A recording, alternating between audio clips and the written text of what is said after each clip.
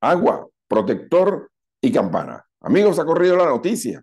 Teófimo López se comunicó con el presidente de la Organización Mundial de Boxeo, Francisco Paco Valcárcel, para, mediante un mensaje de texto, informarle que renuncia al título que acaba de obtener en una gran victoria frente a Josh Taylor. El propio presidente de la OMB, Valcárcel, lo informó a través de su cuenta Twitter, dejando de una vez las puertas abiertas para que Teófimo regrese cuando él quiera.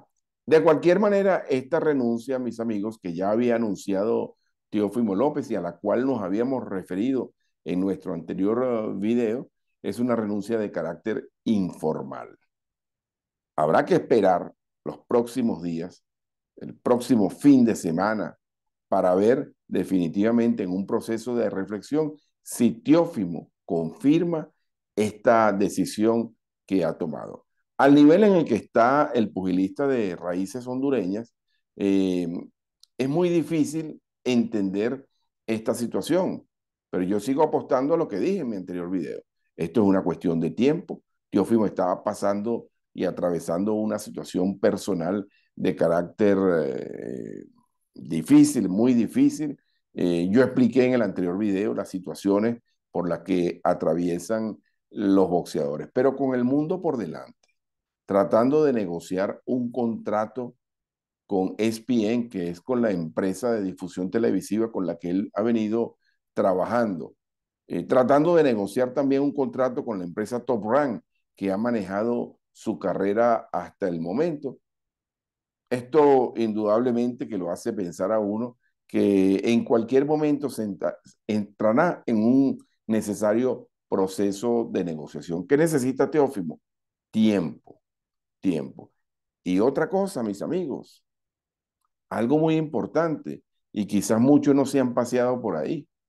Probablemente el propio Teófimo López, que ama el boxeo y que no puede divorciarse del boxeo a sus 25 años, eso, eso, eh, eso es ilógico, eso no tiene ninguna razón de ser. Además, como también lo apunté en mi video anterior, Teófimo no ha ganado buen dinero para el escalón donde él ha llegado. No ha ganado buen dinero. Pero mis amigos, a mí me da la impresión, tengo la intuición, casi la certera intuición, que Teófimo está comenzando a pensar en el peso welter. Sin embargo, este no es el momento para escalar el peso welter, que está complicado el pasaje allí por las peleas tres peleas grandes que vienen en ese peso, la de Crawford y Spence, la de Stanionis con Ortiz y la de Jaron Ennis con Royman Villa. Este no es el momento para abordar esa decisión. Pero como todo se modifica y en el boxeo no hay nada escrito, habrá que esperar el resultado de estos combates que con toda seguridad allí el tránsito se va a aclarar. Porque para nadie es un secreto, mis queridos amigos, que tanto Crawford como Spence ya están pensando en las 154 libras. Incluso voy más lejos. El propio Spence ha dicho que le gustaría pelear con Canelo. Es decir, están haciendo un enorme sacrificio. En el caso de Stanionis y Ortiz, también son personas muy jóvenes. Eh, Ortiz había empezado en la división de las 140 libras y ya es un 147 forzado. Entonces lo más probable es que muy pronto estén ya en las 154 libras. Y probablemente lo mismo podría ocurrir con Jaron Ennis, que una vez defina su combate frente a Royman Villa, también esté pensando en la división inmediata superior. Entonces, lo que en este momento parece complicado, a lo mejor en tres, cuatro meses está totalmente despejado. Y no me refiero a Villa, porque Villa es un hombre de contextura delgada, a quien más bien creo que todavía Villa podría estar peleando en las 140 libras. Pero ese no es el tema fundamental. El tema fundamental es ese señor que ustedes ven allí, ese señor que escaló la cima el pasado sábado, ese señor que aspira grandes bolsas, pero que también aspira tener tranquilidad mental, paz y descansar para reordenar su carrera.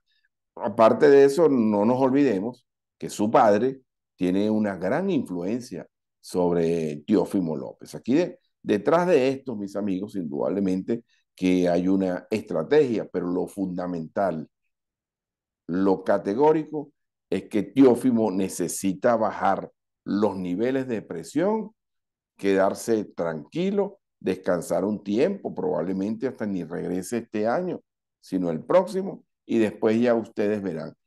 Paco Valcárcel lo acaba de inferir, lo dijo categóricamente, las puertas de la OMB están abiertas para cuando él decida regresar.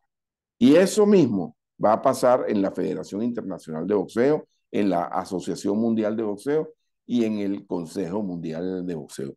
Por lo pronto, mis amigos, la vida continúa y es muy probable que la OMB, si esto se oficializa mediante una comunicación fundamentada, es muy probable entonces que la OMB inmediatamente llame a una eliminatoria para buscar su reemplazo. En esa eliminatoria podría estar el mismo Josh Taylor, pero también se está hablando de que Taylor tiene muchos problemas para dar con las 140 libras y desde hace mucho tiempo Taylor ya había inferido que iba a las 147, pero en esa eliminatoria perfectamente podría estar el ex campeón mundial José Carlos Ramírez y el invicto Arnold Barbosa Jr. Así, mis amigos, no se impacienten, no se preocupen, la noticia indudablemente que tiene un fuerte impacto, pero yo reitero mi posición.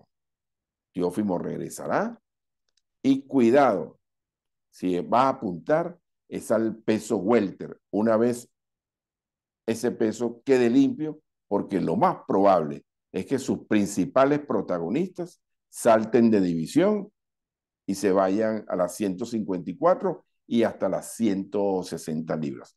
Yo soy Jairo Cuba, mis amigos, y los invito a que sigan mi página web boxeoplus.com. También pueden seguirme en mi cuenta de Twitter, arroba Jair Cuba. Los veo pronto en un nuevo video porque este fin de semana hay boxeo en Australia y hay boxeo en Estados Unidos. Precisamente Rey Progress es el campeón superligero del Consejo Mundial de Boxeo y Tim Siu, que es el campeón interino eh, super welter de la Organización Mundial de Boxeo. De eso hablaremos en nuestro próximo video.